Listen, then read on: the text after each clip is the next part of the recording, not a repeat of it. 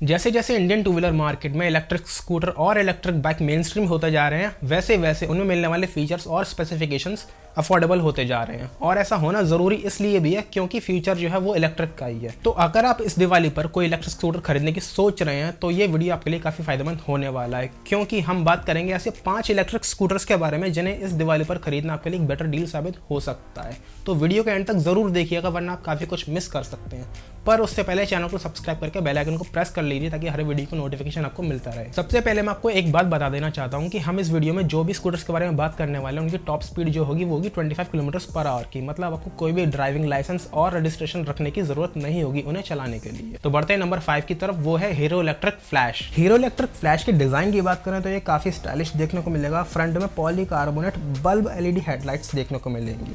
Large seat for two passengers और 16 inch alloy wheels और बाकी सारे वही यूजुअल फीचर्स जो एक स्कूटर्स में देखने को मिलते हैं। फ्रंट एंड रियर दोनों में ड्रम ब्रेक्स और इसमें 250 वॉट बीएलडीसी मोटर जो कि पावर्ड होगी 48 वोल्ट 28 एएच बैटरी से, जो कि एक लॉन्ग रेंज प्रोवाइड कराती है 65 kilometre on a single charge Hero Electric Flash के अगर वेरियंट्स की बात करें तो उसमें आपको दो वेरियंट्स देखने को मिलेंगे। Hero Electric Flash L A Hero Electric Flash L I L stand for lead acid and L I stand for lithium ion देखिए बैटरी जो है दो टाइप की होती है। ड्राई सेल बैटरी और wet cell battery wet cell battery की बात करें तो वो होती है लेड एसिड बैटरी, जिसकी कि वेट भी ज़्यादा होता है, एफिशिएंसी कम होती है, लाइफ साइकिल भी कम होती है और चार्जिंग टाइम भी डबल के बराबर होता है कंपेयर करें लिथियम आइन से। और इसमें एक दिक्कत देखने को ये भी मिलती है कि ये सिस्टम के साथ में अच्छे से कम्युनिकेट नहीं कर पाती है। मतलब आपको पैनल पर जो बैटरी देखने को मिल रही है ना, वो एक्चुअल में उतनी नहीं है। वहीं कंपेयर करें जैसे लिथियम आयन से तो वो बहुत अच्छे से कम्युनिकेट कर पाती है सिस्टम के साथ में और जो बैटरी आपको दिखती है, वो एक्चुअल में उतनी ही होती है।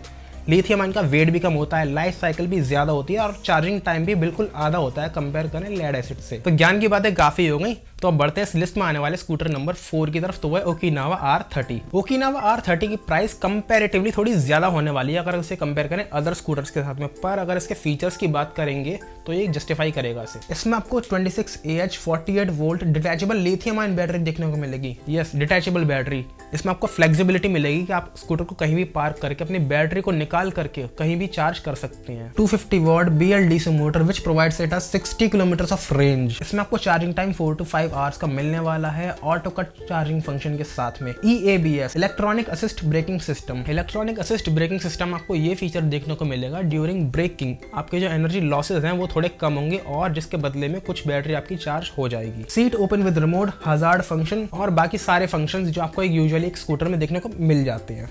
इसमें आपको वारंटी तीन साल की मिलेगी, मोटर पर भी और बैटरी पर भी। तो ये जो इसका तीन साल का वारंटी पैकेज मिलने वाला है, वो काफ़ी सही है, क्योंकि मोस्ट ऑफ़ द स्कूटर्स में आपको बैटरी पर और मोटर पर तीन साल की वारंटी देखने को नहीं मिलती। तो यही था ओकिनावा आर थर्टी के बारे में सब कुछ। अब बढ़ते हैं इस लिस्ट में आने वाले स्कूटर नंबर थ्री की तरफ़। तो वो अगेन ओकिनावा का एक दूसरा स्कूटर है, ओकिनावा लाइट ओकिनावा लाइट के जो फीचर्स हैं, वो बिल्कुल सेम होने वाले हैं ओकिनावा आर थर्टी के जैसे। लाइक फ्रंट में डिस्क ब्रेक एंड रियर में drum brake push start stop button keyless entry और same battery same motor same performance और सेम ही चार्जिंग टाइम बस इन दोनों में जो डिफरेंस होने वाला है, वो होने वाला है इनके प्राइजेस और डिज़ाइन को लेकर के। प्राइजेस जो है वो है 63,990 और इसका जो डिज़ाइन है वो प्रीमियम लुकिंग रेट्रो डिज़ाइन दिया हुआ है। इसमें आपको प्रोजेक्टर हेडलैम्प्स विद डीआरएल देखने को मिलेगी और आपको इसमें कलर इन्फॉर्मेशन पैनल देखने को मिलेगा। हमने इस स्कूटर को वीडियो में इसलिए कवर किया है क्योंकि ओके नवा स्कूटर्स पर अभी एक ऑफ़र चल रहा है ट्वेंटी अक्टूबर से लेकर के फिफ्टीन नवंबर तक जिसके चलते हर एक बुकिंग पर आपको मिलेंगे सिक्स थाउज़ेंड रुपीज़ के गिफ्ट वाउचर्स और एक लकी ड्रॉ कॉन्टेस्ट भी चल रहा है जिसके चलते टेन लकी कस्टमर्स जीत सकते हैं ओकिनावा आर थर्टी। तो ज़्यादा जानकारी के लिए आप डिस्क्रिप्शन में दिए हुए लिंक को चेक कर सकते हैं और इसकी जो वारंटी है, वो भी ओकिनावा आर थर्टी की तरह सेम होने वाली है